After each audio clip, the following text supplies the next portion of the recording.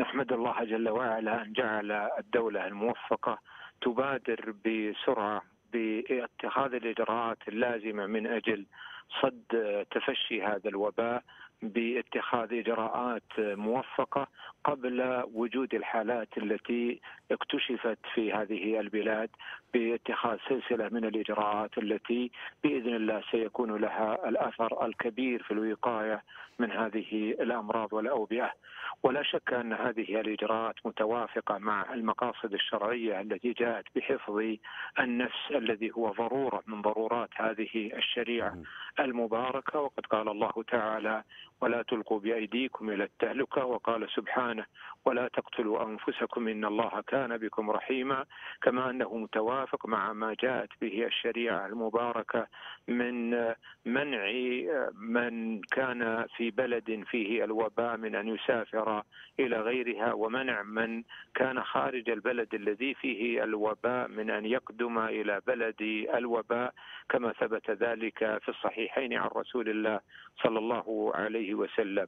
إن هذه الإجراءات التي اتخذتها الدولة موفقة وفي محلها ومتوافقة مع الشريعة المباركة واتصل بي العديد من الشخصيات الإسلامية من علماء ومفكرين من بلدان شتى يؤيدون هذه الإجراءات ويشكرون القيادة الحكيمة على اتخاذها.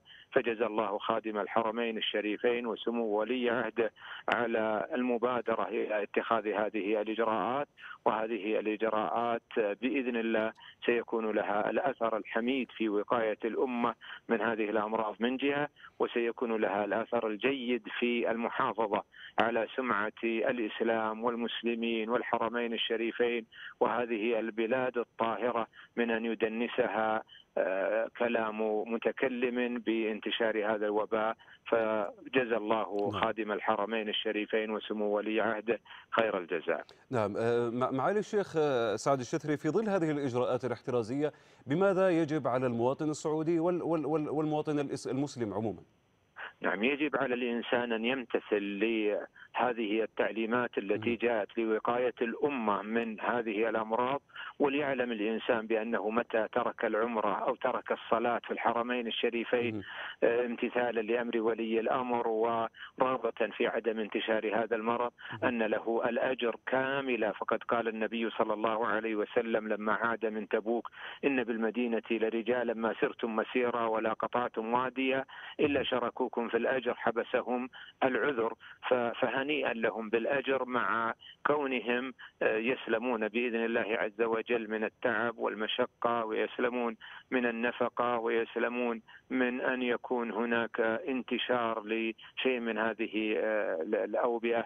كذلك على الإنسان أن يحذر من السفر إلى البلدان التي يوجد فيها هذا الوباء ويعلم أن من الديانة ومن القربة لله عز وجل ترك الأسفار في هذه الأوقات خصوصا للبلدان التي فيها شيء من هذه الأمراض يتقرب بذلك لله جل وعلا.